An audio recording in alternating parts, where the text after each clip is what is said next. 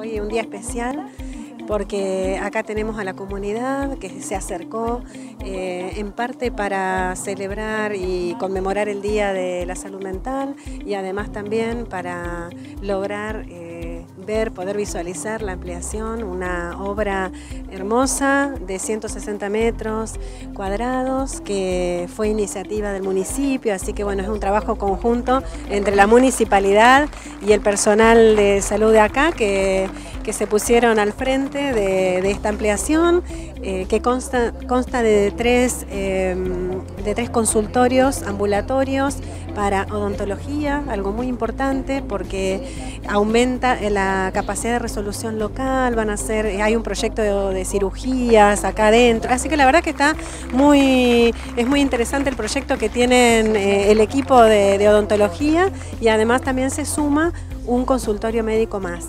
Em, bueno, hay un, baño inclusivo, creo que lo más importante de esto es justamente que seguimos fortaleciendo la atención primaria, el vínculo con la comunidad, la inclusión y, bueno, hoy realmente es un día de fiesta para nosotros.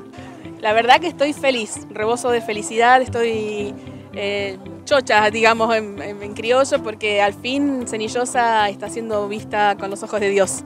Así que vamos a luchar, vamos a luchar por todos ustedes, por todos nosotros y bueno, estamos siempre brindando lo mejor. Sabemos que tenemos algunos errores, eh, las críticas destructivas no ayudan. Solicitamos a la gente que nos haga críticas constructivas que son escuchadas y para mejorar siempre las tomamos en cuenta. Las puertas del hospital siempre están abiertas para venir a hablarnos y a que nos cuenten los problemas y ver en conjunto cómo poder resolverlos.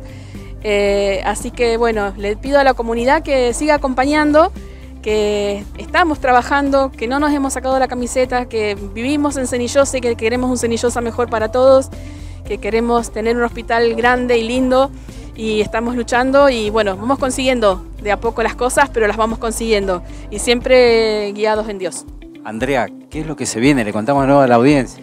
Bueno, el gobernador me acaba de dar la noticia genial de que va a hacer toda la ampliación en una sola etapa, en simultáneo, toda la ampliación que nos falta del hospital. Vamos a tener los depósitos nuevos, la sala de choferes, la sala de máquinas, las salas de camilleros, de radiooperadores, las habitaciones médicas nuevas, eh, la parte de internación con una sala de internación más, la guardia nueva, vamos a agrandar la guardia porque ya se nos quedó chica.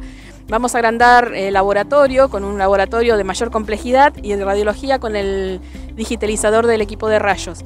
Así que son todas gestiones que se vienen haciendo desde hace dos años más o menos que van dando todo su fruto. La veía Andrea re emocionada, yo me emocioné porque van a ser dos años y diez meses que empezamos la gestión y desde el primer día uno de los objetivos que habíamos presentado ante el gobernador de la provincia fue con Andrea el pedido de esta ampliación tan necesaria, un hospital de ya 36 años. Y ahora con esta noticia, ¿qué más puedo decir?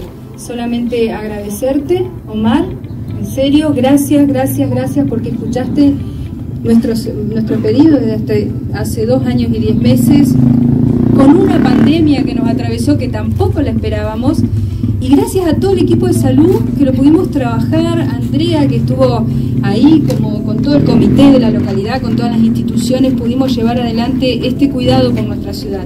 Así que eternamente agradecida y creo que a disfrutarlo. Eh, y nada más, muchas gracias.